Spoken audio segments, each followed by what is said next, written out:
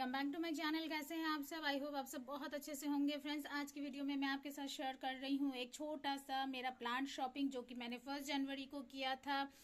तो नए साल की शुरुआत में की है मैंने एक छोटी सी शॉपिंग जिससे कि मैं अपने गार्डन में कुछ प्लांट और ऐड कर सकूँ, मेरे गार्डन को थोड़ा और खूबसूरत बना सकूँ। तो यहाँ पे आप देख रहे हैं मेरे गार्डन के खूबसूरत से गुलदाउदी के फ्लावर्स जिसे मैंने अपने इंडोर प्लेस कर दिया है, जो कि मैंने एक वीडियो में आपके साथ शेयर भी किया था कि गुलदाउदी के फ्लावर्स जब कंप्लीट खिल जाते हैं तो उसके बाद आप उसे इंडोर शिफ्ट कर सकते हैं ब्राइट लाइट में तो ये प्लांट आपके पास बहुत लंबे समय तक रहेगा। क्योंकि ये प्लांट को हमें बचाने के लिए इसे पानी से बचाना होता है और टेरेस पे रहने से इसमें रात की सीत पड़ती है, जो कि एक तरह से पानी का ही फॉर्म होता है। तो उससे भी ये बचा रहेगा और बहुत ही अच्छी तरीके से हमारे इंडोर अभी ये लंबे समय तक चलेगा। क्योंकि मेरे ये जो कुछ प्लांट आप देख रहे हैं, ये कंप्लीट खिल चुके हैं। इनमें अब खिलने के लिए कुछ नहीं है, इसीलिए मैंने इन्हें यहाँ शिफ्ट कर लिया। इससे हमारे घर की भी खूबसूरती बढ़ जाती है। और आते जाते हमें ये खूबसूरत फूल भी नज़र आते रहते हैं और मन को भा जाता है ये खूबसूरत से, सुंदर से गुलदाउदी के फ्लावर्स तो ये है मेरे ये खूबसूरत गुलदाउदी के फ्लावर्स अब आ जाते हैं कि मैंने कौन कौन से प्लांट परचेज किए हैं। न्यू ईयर की शुरुआत में, नए साल की शुरुआत में तो आप यहाँ पे देखेंगे कि मैंने यहाँ पे बर्बीना एक प्लांट खरीदा है। मैं काफ़ी सारे सीडलिंग मैं स्टार्टिंग में लगा चुकी हूँ बट मैंने बर्बीना नहीं लगाया था। इम्पेसेंस का नहीं लगाया था इसीलिए मैं आज इन्हीं पौधों को लेके आई हूँ। तो बर्बीना के आ, मैंने एक ही कलर लिए क्योंकि जहाँ से मैं प्लांट परचेस करती हूँ वहाँ और प्लांट में फूल खिले हुए नहीं थे। और बगैर फूल के पता नहीं चलता है कि कौन सा कलर आएगा इसीलिए फ़िलहाल मैं एक ही पौधा लेके आई हूँ। और ये पौधा मुझे पड़ा है थर्टी रुपीज़ में। और मैं लेके आई हूँ दो कलर में इम्पेशंस के प्लांट जो कि आप देख सकते हैं बहुत ही प्यारा सा कलर है इसमें।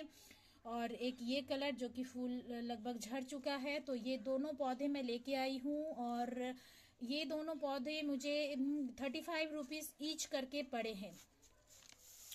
यानी सेवेंटी रुपीज़ में मुझे ये दोनों पौधे मिले। और यहाँ पे आप देखेंगे मेरे आ, ये जो प्लांट शॉपिंग है, इसमें से सबसे खूबसूरत पौधा। आपने मेरे गार्डन में देखा होगा कि मैं कोलियस के प्लांट के बहुत कलेक्शन करती हूँ। मुझे बहुत पसंद है कोलियस के प्लांट और मेरे पास लगभग 11-12 तरह के कोलियस के प्लांट है।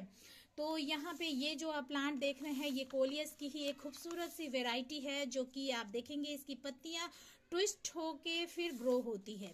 पहले स्टार्टिंग में सीधी रहती है और जैसे जैसे पुरानी होने लगती है पत्तियाँ वैसे वैसे इसकी पत्तियाँ ट्विस्ट होने लगती है, घूम जाती है और काफ़ी खूबसूरत सा इसका लुक आता है।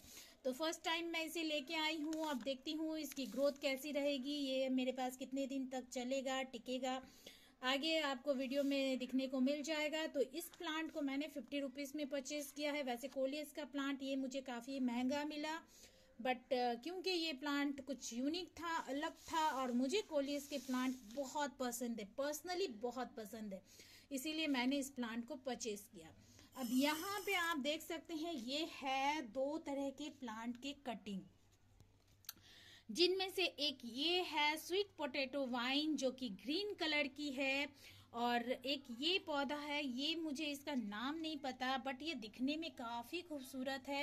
इसमें इस तरह से छोटे छोटी छोटे छोटे पिंक कलर के फूल आ रहे हैं। तो आप इसका नाम मुझे ज़रूर बताएँ और यही मैं आ, एक पार्क में घूमने गई थी और वहीं से मैं जो वहाँ के केयर टेकर होते हैं, उनसे मैंने मांग के इसकी कटिंग लेके आई हूँ मैं और बहुत ही अच्छी सी इसकी कटिंग मुझे मिल गई है। अब इसे मुझे ग्रो करना है और क्योंकि ये प्लांट कटिंग से ग्रो हो जाते हैं और इस प्लांट के बारे में उसी पार्क के केयर टेकर ने कहा केयर टेकर ने मुझे कहा कि ये भी कटिंग से ग्रो हो जाता है। तो इसीलिए मैं इस प्लांट को भी लेके आई हूँ। अब मैं इसे लगाऊँगी और लगेगा या नहीं लगेगा, आगे किसी न किसी वीडियो में आपको दिखने को मिल ही जाएगा। बट ये प्लांट बहुत ही ज़्यादा खूबसूरत लग रहा था। यहाँ तो सिर्फ़ एक स्टैम है, इसीलिए शायद उतना खूबसूरत नहीं दिख रहा है। लेकिन जहाँ से मैं इसे लेके आई हूँ, वहाँ पूरी तरह से खूबसूरत दिख रहा था। एकदम से भरा हुआ प्लांट जिसमें ढेर सारे फूल इस तरह से आ रखे थे। तो इस तरह से मैं दो प्लांट की कटिंग लेके आई हूँ। इसमें तो ऑलरेडी आप देखेंगे कि कुछ कुछ जगह पे रूट्स भी बने हुए हैं।